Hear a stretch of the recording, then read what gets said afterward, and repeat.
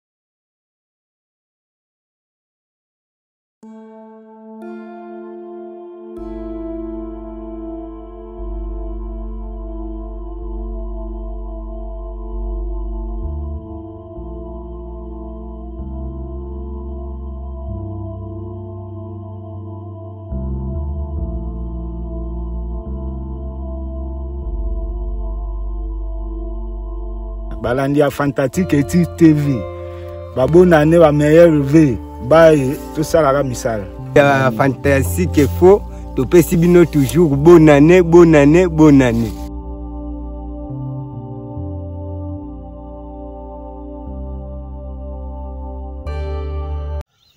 Voilà bandeko Fantastique Info TV ya magazine Kiabeto Television oyo bolandaka biso partout et na Afrique mobimba na monde entier et awa wapi tozali bongo na République démocratique du Congo précisément na village ya Kinsala 2 hmm. Kinsala 1 epai wapi tozali bongo na concession prive ya bomoko ya Congo paya wapi tomonaki na 2022 lolenge kani misala esalamaki awa na ngambu koto oyo e vike tokozwa intervenant oyo azali na biso elongo ah, avant na komata kuna likolo mpona kotala evolution ya terrain mbote papa mpe mbote papa journaliste eh, kombo nani kombo na ngai ezali Prosper. Papa Prosper, eh, totondi yo. Bonne année. Eh, année 2023 elamu. Eh, Merci. tolingi totuna Papa Prosper. Eh, awa tozali bongo na terrain ya nani? Awa tozali na terrain ya Papa Ige Ayoga. Mhm. Na 5e eh, hectare oyo ya suka mpo na ngambo kuna tozalaka na 4 hectare mhm. moko ezalaka na ngambo koto oyo oyo ya ngambo koto oyo ndambo tokoke mpo na kokata yango tolonaki nguba mhm. alors nguba yango mpe na miniti oyo yango ozomona ndenge ezo ko evolue vraiment papa na biso osili koyebisa biso ete ngambu oyo ozali bongo na 5e 1 hectare ya papa ya continuité ya ferme bomoko ya congo epai wapi bolonaki ngambu koto bolonaki nguba ya kaka ya pamba obie bobakisaki lisusu quelque chose na kati non awa tolona mpenaka nguba ya pamba vraiment Eh, par rapport na kotala nguba namoni quand même évolution ça va ou bien d'après bino ozomona yango te mwa bakokoso ezali nguba eza nango na kokoso te nguba eza nango bien mhm. eloko ezosala biso kaka mpeshuma tala nde tozomona banguba ebimi boye bandeke bandeke mpenza hmm? bazo kolia mpena nguba makasi soki obalusi kaka elongi hmm. lokola bazoyeba ke ya motu hmm. wana akei tokota bakotiuba tozomona avoir bapuku mpe na butu oyo ya bango tona bampuku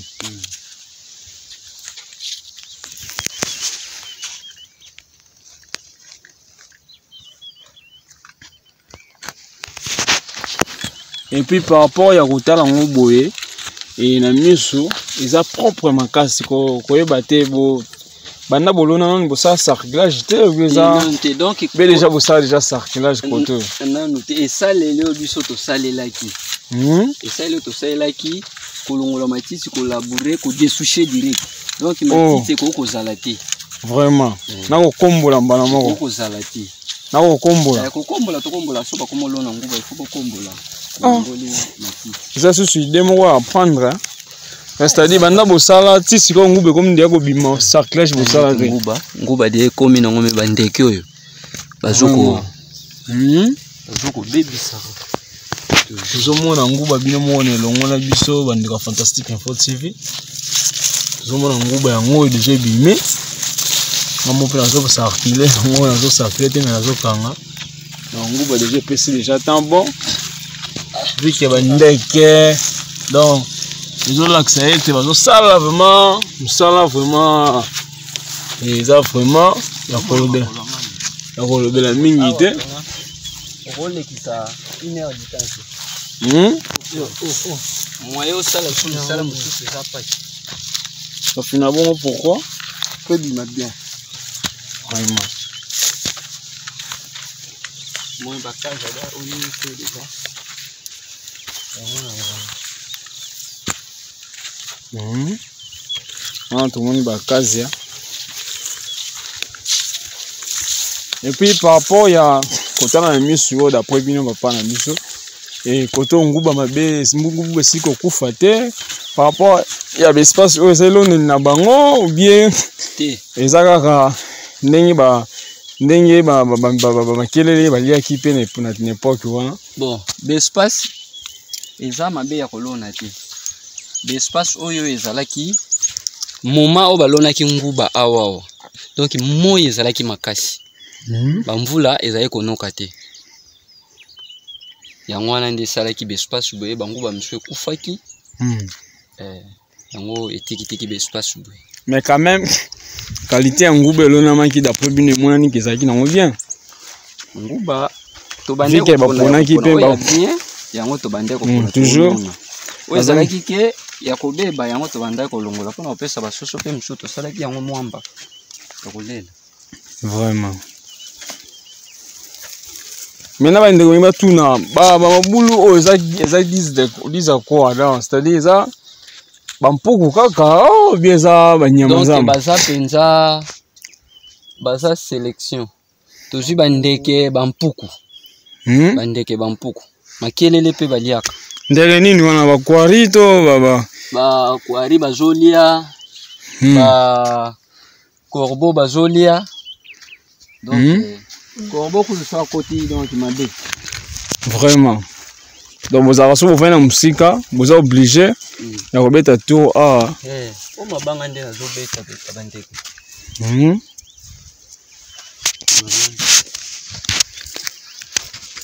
maintenant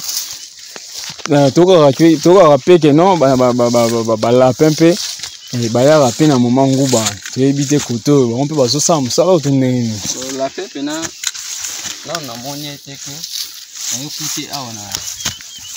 nabeta bato mpe ntina butu lapena namoni eteke ayaki olia nguba pa bapuku kaka oyo ya mike besobe wana nde bazo kosala masacre bi me na service ozosala oyo nazomona c'est comme misusu obe olandela yango bien eza vraiment ebele misusu ekotikala ezosenga fo bato bazala mpo bosalisa bomeka mpe kolandela bamabele oyo na chaque nini obie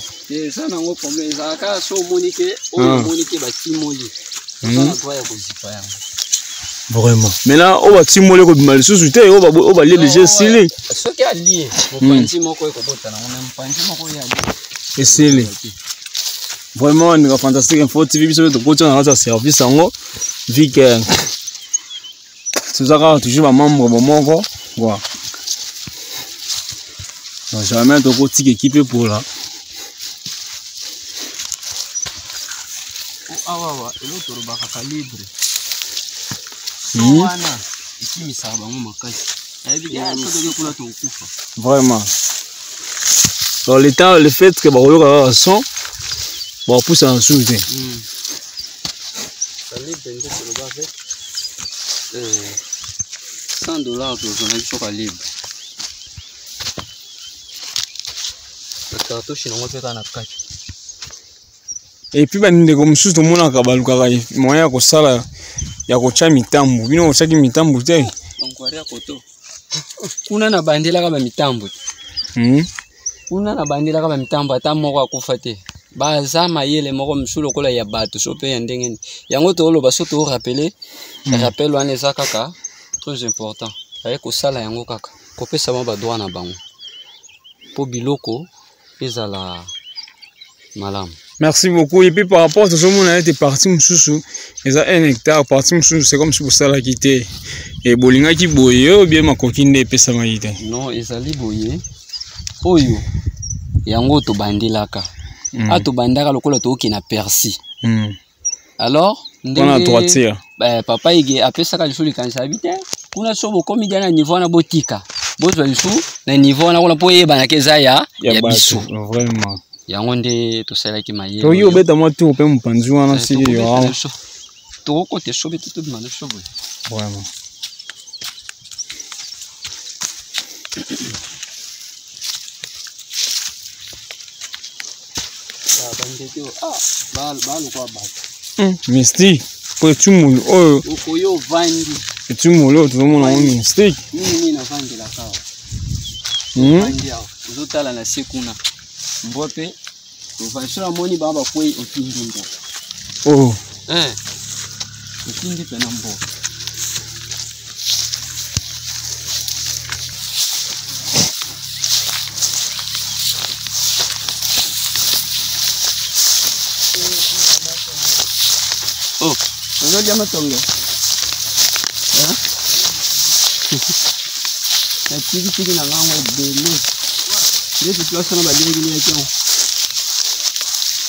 boye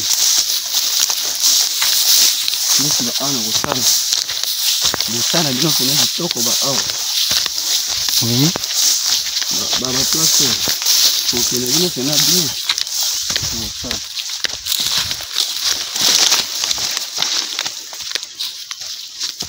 oui bandeko ya fantastique info tv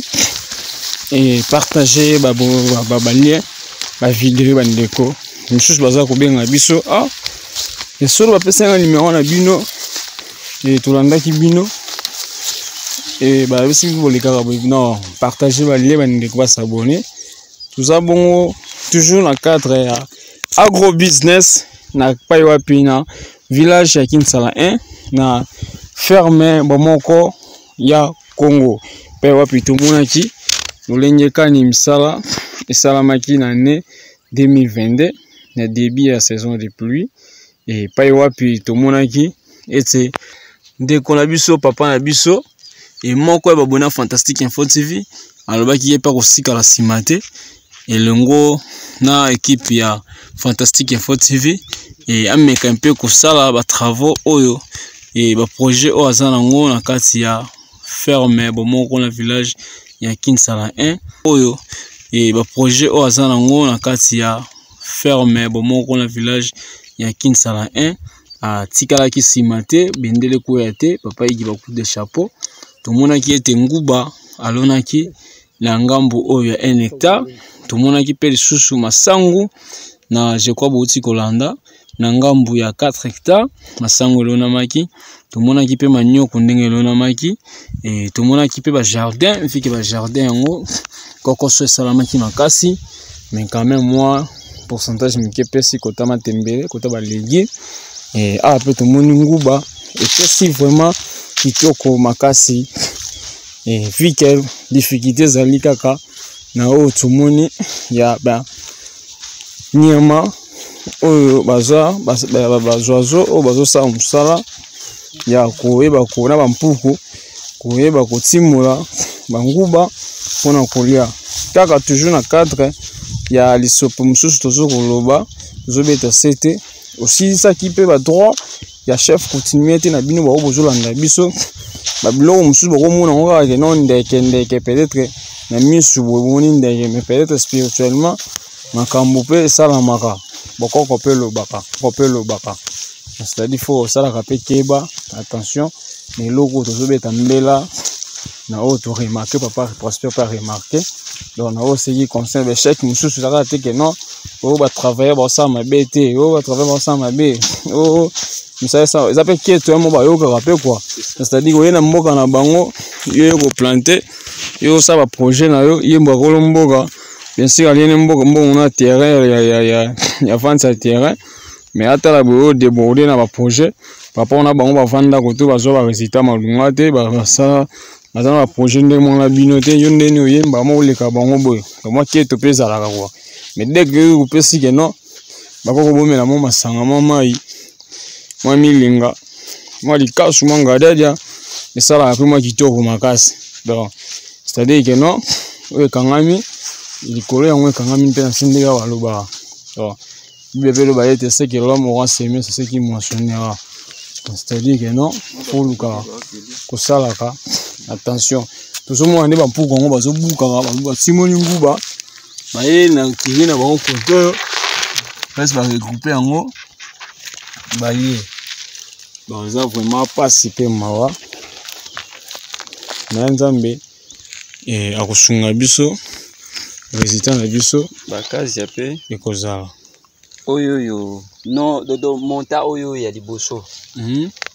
ekokaki deja mm. na kolona ekokaki sikoyo etikali awa awa nde bambula ezobeta boye mm. fale barenforce lisusu mosusu mpo tokokisa na 4 hectare ekita ti na mai tous les deux persi vraiment nabosani kutu te makambo makasi yango esimbi deja quand même oyo ya kala okomona yango kaka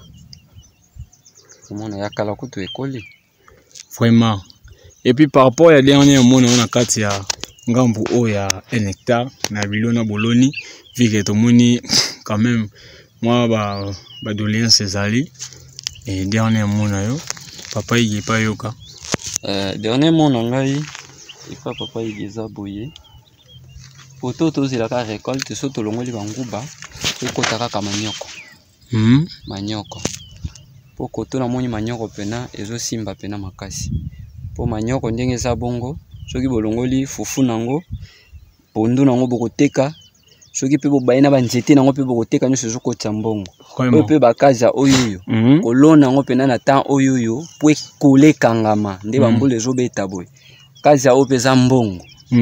to soki ekoli deja ekomi lokola ndeti ya paradis ezomonana bongo mm. ezaka mbongo toyoka mpe basalaka yango makala basalaka makala mpe bokokata yango mpe bapoto mpe ya kura basalaka vraiment to esungaka nzete mwa makasi eh, oyo atudwa mpe bangare bokosala mm -hmm. ndeti boye toza na boule ya kosala bapayote mm. ndeti yango so deja ekolaki tokomitungisa na mabaya teke bosomba mabaya tokokataka yango tosali bapayote vraiment wana nayoki dernier mona eloko mosusu abakisa eza te eza te merci beaucoup excuse hmm? biso awa toza isole na place eza isole il faut suivi ezalaka epai na biso mpo tomonaka bavisitere bayaka kovisite biso soki ka ndeti eza boye hmm. ata bino mpe bobanda koya boyaka lisusu te esalaka biso mpe susi na motema ah bon oui merci beaucoup bandeko ya fantastique info tv toyoki papa na biso prospère aleli likambo ya visite esalaka mpe mwa kitoko makasi eza biso mpe te un moment donné mpe mwa